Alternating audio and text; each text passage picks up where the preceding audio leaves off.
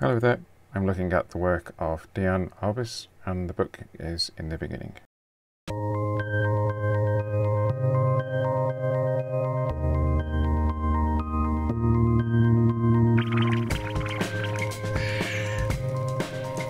Hello and welcome to the intro to this video. I hope you enjoy it. This is Untitled Photo Thing and I'm Pete Carr. Diane Arbus. She was an American photographer based in New York and she did uh, most of her work during the 50s and 60s. Unfortunately in 1971 she committed suicide after suffering with depression throughout her life. She started as a fashion photographer with her husband and got more into doing her own personal work. She was really interested in uh, photographing marginalised groups and was passionate about highlighting the importance of proper representation of all people. She photographed couples, children, carnival performers, nudists, middle-class families, transvestites, people on the street, zealots, eccentrics, and even celebrities yeah, so let's have, a, uh, let's have a look. I have to admit, I have had a flick through this book um, and I picked out some of my favourites. So, a lot of strong work. Really, nicely done book. Yeah, that one's just astonishing.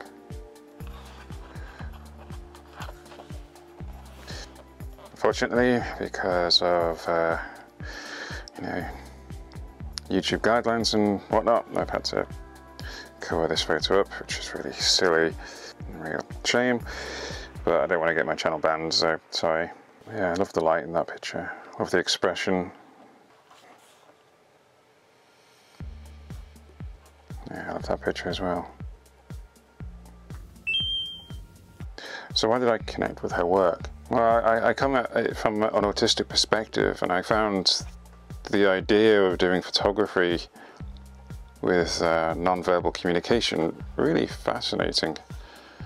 Yeah, you can see in this picture, the door's closed and everything. She hasn't kind of chatted to the people. She's not close enough to. And yet, when she sort of asked their permission and calmly and quietly just taken the photo and uh, it's really quite something. And and again with this one, uh, you know, she's uh, turned around in the seat and taken their photo. There's a um, contact sheet that shows that there's another frame just before this one, I think, where the one's looking out the window. And she looked back and I don't know what the time is between the frames, but there's clearly some communication going on there. And um, to do it non-verbally, it's just, it's kind of empowering to know that I don't have to be perhaps the best speaker. You know, I can still be a good photographer.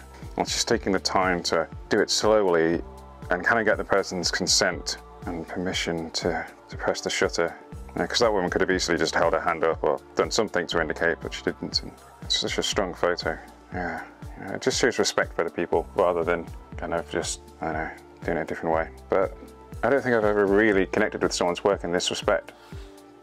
I've seen so many street photography books and portrait photography and things like that that you're kind of in love with the moment and the light in the picture and stuff. And you know you want to take pictures like that. So you go out with your camera and you kind of take pictures like that and stuff. But I think there's maybe a hint of ego and everything that you want that photo and that style. And you forget the people are actually you know these people are alive in this photo they are alive for this woman taking the photo. You have to treat them with the respect of that. They're not your playthings in your own universe.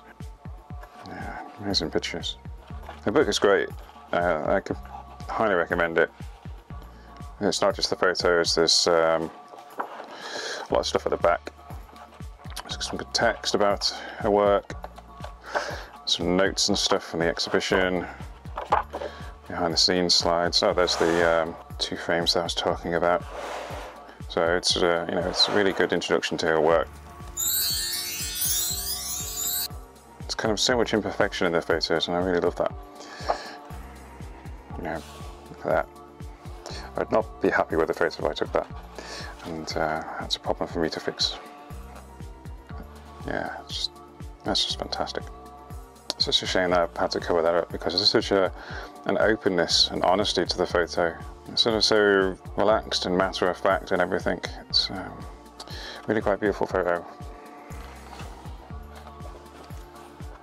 That one is just uh, just amazing. Just the expression on the woman's face, pride and the joy, it's fantastic, really fantastic. So what did I learn looking at her work? What she's saying to me is it's totally fine to be an autistic non-verbal photographer. It's not often that I'm non-verbal, but there are times when I just shut down and can't say anything. So her work is sort of saying to me that it's okay, I can still interact and I can still communicate, I can still be a photographer, even if I, I can't speak. I can, I can still say something. And I find that really empowering. I think she's become one of my favourite photographers. She doesn't want to make me want to rush out and buy another Leica and so I can play at being Joel Meyerowitz. She wants me to be okay with myself and that my issues shouldn't hinder my work. Incredibly inspiring.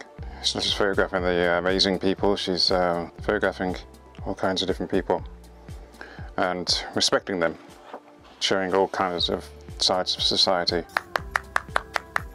It's my favourite photo. That's fantastic. That one's amazing as well. I do love that one. That's such a photo. Kind of torn between that one and the one on the bus. And there's a lot going on there. Beautiful lights and stuff. Really strong character.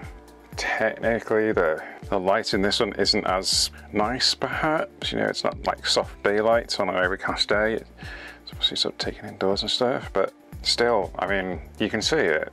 You, you can see that this woman is really glowing. It's really a very powerful photo. I'm gonna go with this one. Fantastic work. So yeah, totally recommend getting this book.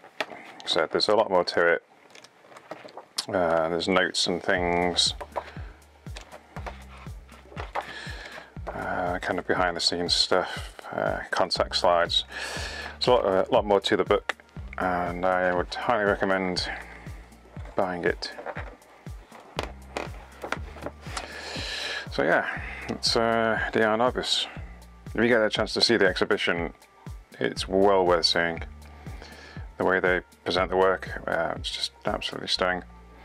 It's sort of, there's no route around the exhibition, it's just, uh, you kind of wander the streets, essentially.